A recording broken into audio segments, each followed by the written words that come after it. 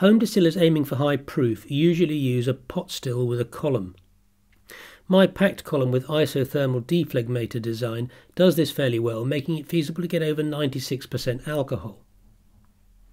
Columns like this separate out an azeotropic alcohol water mixture at the top end, a process called rectification, and so are called rectifying columns.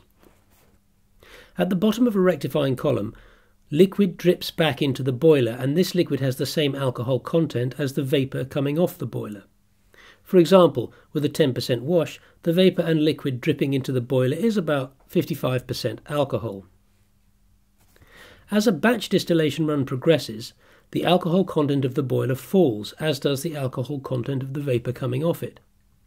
At the end of the run, when there's perhaps 1% alcohol left in the boiler, the vapour contains about 8% alcohol. Starting with a typical wash concentration of 10 to 17%, that results in a wash alcohol extraction rate of between 90 and 94%.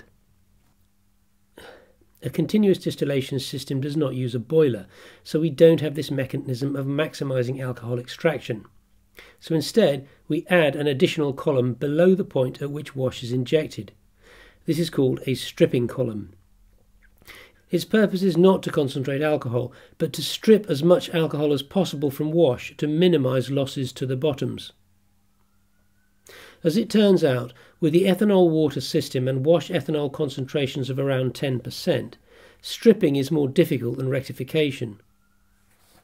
Alcohol is costly to produce, and it's worth going to considerable lengths to minimize how much is lost. Commercial continuous distillation systems typically have longer stripping columns than rectification. A commercial column for spirit may be perhaps 60 feet high, of which the top 20 feet will be rectification and the bottom 40 stripping. My first attempt at a continuous rig was to adapt the column I used for pot distillation by adding an injection point and wash preheater part way up. A bit of experiment showed that this wasn't going to work. Pack columns like this are sensitive to vapour and liquid flow rates, and when using this with a pot still, the boiler power has to be controlled within 1% in order to maintain over 96% alcohol output. This happens when the section of the column above the isothermal dephlegmator has the right balance of upgoing vapour to downgoing liquid.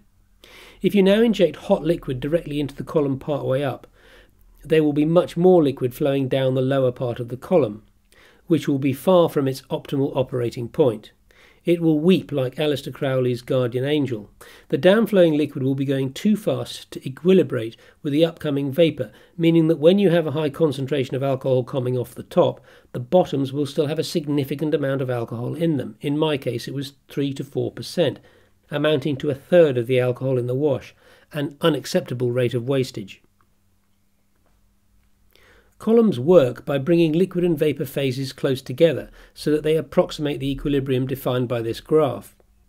This equilibration process is quite slow, so the vapour and liquid need to be in contact for a while.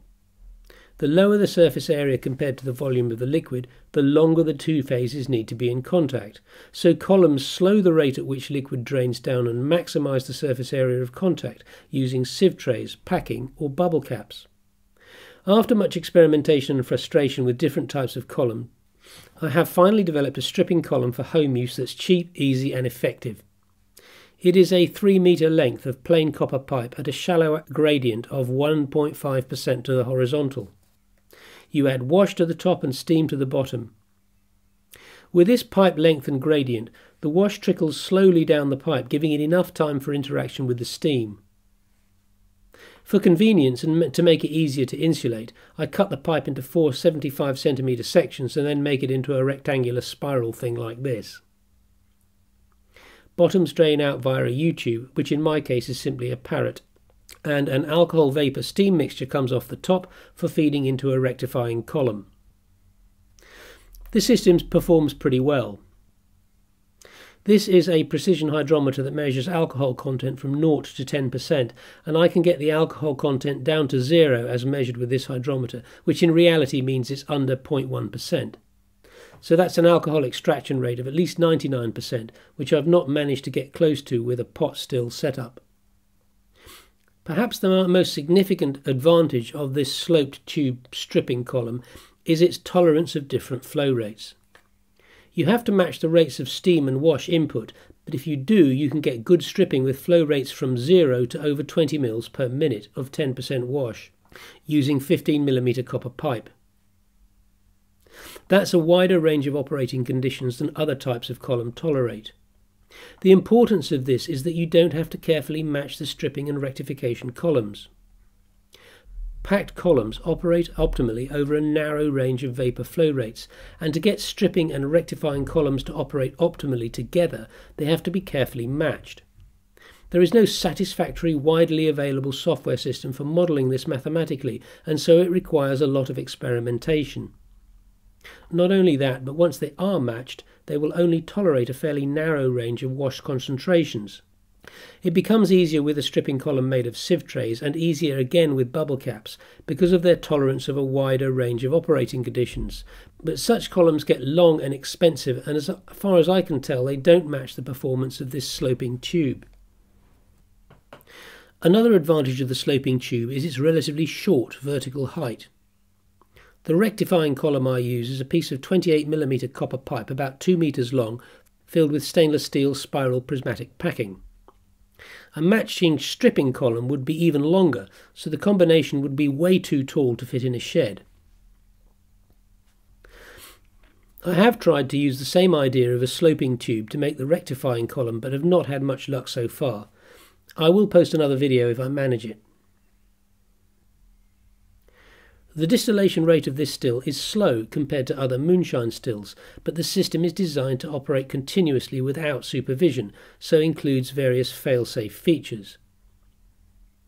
It will produce about 50 to 60 mils of azeotropic alcohol per hour, which is about 8.4 litres a week. That's 8 litres or 6.3 kilograms of alcohol per week. If that's not fast enough for you, you probably should consider cutting back. The whole system uses the two columns, a steam generator, two dosing pumps, one for wash and one for water to the steam generator, a wash preheater, and three temperature control systems for the steam generator, preheater, and a column top extension designed to draw off volatile undesirables like methanol and acetone. I use parrots for bottoms and product, and a simple heat exchanger between the outgoing bottoms and inflowing wash, which has the two advantages of keeping the bottoms parrot at a lowish temperature and saving energy by recovering heat from the hot bottoms. The system is more energy efficient than conventional pot distillation, mainly because the product is drawn off as a liquid and therefore its latent heat of vaporization is not wasted. Heads are drawn off as vapour, but there's a small amount, so energy losses are small, and a 1 metre or so length of 8mm copper pipe gives adequate air cooling to condense the heads. You do not need a Liebig condenser, so not only is it more energy efficient, it also uses far less water. In principle, it's supposed to be an adiabatic system, though in practice there is some heat loss to the environment, and total power consumption does depend on how good the insulation is. Heat loss does vary with ambient temperature, and this means that optimal adjustment does as well. You're probably wondering how strong can the still make spirit? The azeotropic point at atmospheric pressure is 96.51% alcohol by volume, which you'll never quite achieve, but you'll be able to approach it pretty closely. Using this same rectifying column but with the isothermal dephlegmator operating over a pot still controlled by a precision electronic heat controller that had a resolution of about 0.1 watts, I was able to get between 96.1 and 96.4% alcohol over most of a 50 litre run of 40% wash from previous stripping runs. On this continuous rig, the maximum I've managed to get has been 96.35%, but I have not been able to maintain it at this level for more than about 12 hours. Changing ambient temperature affects the process, requiring small changes in power, but the behaviour of these roller pumps is also a limitation. Their flow rate is not fixed, but depends on the elastic properties of the rubber tube, which in turn depends on fatigue, temperature, and creep of the tube within the housing. So for a fixed pump speed, flow drifts slightly over time. The same settings can give a percent product drifting as much as 95 to 96.3% alcohol over 24 hours. I'm looking at gear pumps rather than peristaltic roller pumps, though they are quite costly. Anyway, at the moment the column will reliably split wash into bottoms with less than 0.1% alcohol and product with over 95.5%, which isn't too bad. The still runs at about 100 watts, 90 for steam and 10 for the preheater, assuming the heat exchanger is being used. That low power not only saves energy, it also means it's cheaper and easier to make because there's no need to handle and control the high currents necessary for powerful electric heaters.